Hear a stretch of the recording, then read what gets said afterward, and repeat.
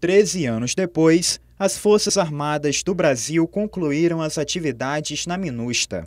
A missão das Nações Unidas para a Estabilização no Haiti, liderada pelos militares brasileiros. Após a saída do presidente Jean Bertrand Aristide em 2004, criminosos começaram a disputar o comando da ilha. 26 destacamentos e 37 mil combatentes passaram pelo país de cerca de 10 milhões de habitantes. Hoje, com o sucesso da, da o Brasil começou a ser convidado para participar de várias operações de paz.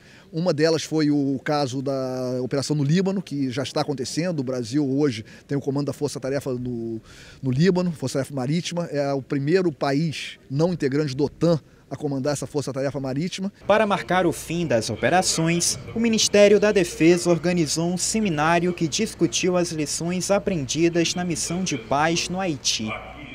Trocamos humanidade por humanidade. É importante. Trocamos música por música. Trocamos alegria por alegria. É, eles são tão gente quanto a gente. É uma só raça. Eles nos ensinaram coisas e nós ensinamos coisas. Dentro daquilo que todo mundo faz. Todo mundo canta, todo mundo chora, todo mundo sofre.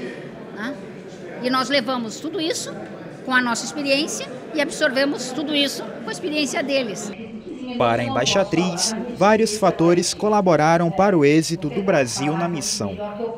O sucesso da nossa tropa está baseado no enorme adestramento deles, está baseado no fato de eles serem brasileiros, está baseado no fato dos generais que os comandaram eram brasileiros e pensam iguais.